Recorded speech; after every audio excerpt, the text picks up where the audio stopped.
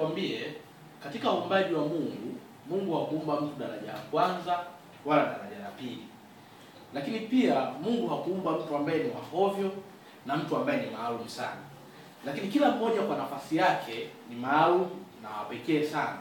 Ndani ya kila mtu liko kusudi la Mungu. Hili haliletwi na kuwa na elimu ya chuo kikuu. Hili haliletwi na kula chakula ambacho watu wengine wanaona ndio kizuri kila siku.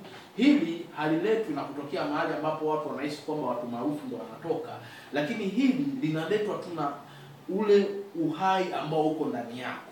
Wakati Mungu alipokupumzia pumzi ya uhai, kuanzia hapo, maanake kusudi lake lilikuwa ndani yako. Kwa wewe, kwa jinsi ulivyo, bila kuangalia yale uliyokosa, bila kuangalia ni yapi manyonge sana uko nayo, ndani yako kuna kusudi la Mungu. Ukiamua kuchukua hatua leo bila kuangalia yale uliokosa sana, unaweza ukalitimiza kusudi la Mungu sawasawa na jinsi anavyotaka, hata watu wengine wakawa wakashangaa kwamba kama wewe ni yule yule ambaye